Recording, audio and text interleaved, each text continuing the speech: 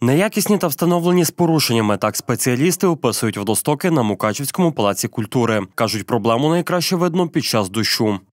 Що привертає до себе увагу, це е, облаштування жолобів.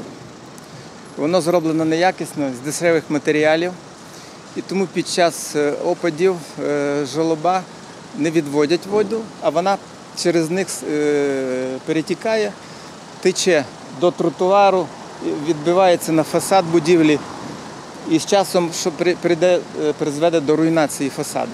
Не менше проблем, каже пан Михайло, буде і взимку, адже вода стікає прямо на тротуар, що у холодну пору року призводитиме до ожеледиці. температурний режим плюс-мінус і розривається буквально ця бучарда, що ми бачимо, і ще була виконана чехами.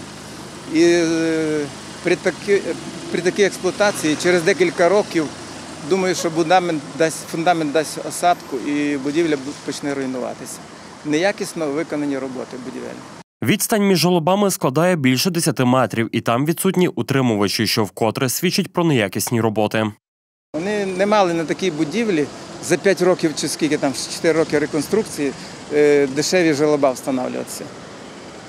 Я думаю, що це неякісні е, виконані будівельні роботи, некваліфікована робоча сила. Основна проблема отаких реконструкцій. Тож чи доцільно були витрачені кошти платників податків із міського бюджету, і чи не можна було за роки реконструкції якісно привести до ладу, питання залишається відкритим. Нагадаємо, палац культури платникам податків Мукачева обійшовся у близько 60 мільйонів. А попри те, що заклад працює і його урочисто відкрили, саму будівлю в експлуатацію поки не ввели. Про це ми розповідали в попередніх випусках новин.